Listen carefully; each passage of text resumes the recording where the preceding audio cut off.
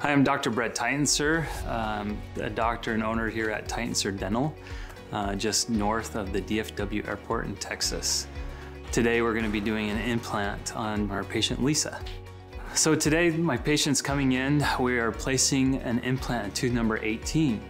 But this process started off a few months back. This patient had cracked a tooth. I went and broke my tooth, and so I came in to have a dental implant put in after I came in and they explained and showed me all of their technology and the latest 3D imaging and showed me everything that was going on. It was like this was a no-brainer. So we had to extract the tooth. We did a bone graft. Um, after that is healed, patient came in. First of all, we used the Primescan to get an intraoral scan. Um, that way we have a really accurate, fast, easy impression of the patient's teeth. We could even design the crown, the final restoration, exactly where that needed to go. And then on that same appointment, we use our Orthophos SL, our cone beam CT, to take a 3D image.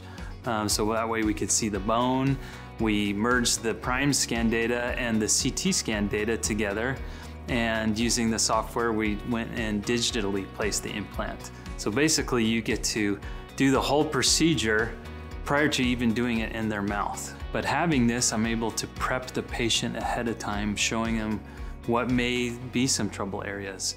And so that way, when the day of procedure comes, like today, and everything goes smooth and well, it's a celebration. Dr. Titensor bringing me in before we even started and sitting me down, he had gone and put the whole procedure out on the screen and I was able to see where the implant was going to be put in and all my other bone structure around it so I could see it's perfect. All right, so today we place the implant. I like to wait for that to osseointegrate and heal and then uh, you do have a few options. You can take the final impression at the time you place the implant. This was a posterior molar. I'm gonna go ahead and I just put a healing cap on. I'm gonna wait typically 10 to 12 weeks. Patient will come back. We take the impression all digitally again with the Primescan. And then from there, we actually design a custom abutment with a, a crown on top, or you can do a screw retain crown. You have both options. And once it's designed, I just mill that right here in my office with the Primemill from start to finish. This is all done right here in the office. Unbelievable the difference. I'm so used to coming in in the old days where you'd have to sit there and bite into an impression and have all that gooey material. And this time, all they did was came in with a wand and went right around my mouth so easy and fast, and it was done in two seconds. I love the new technology.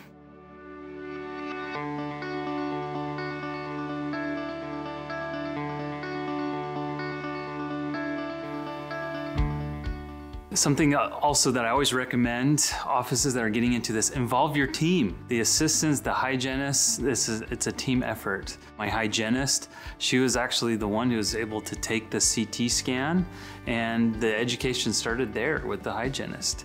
And then the assistant was involved. They are the ones who took the digital scan. By the time it got to me as the doctor, um, the patient had already uh, felt great about the procedure and it makes my job a lot easier.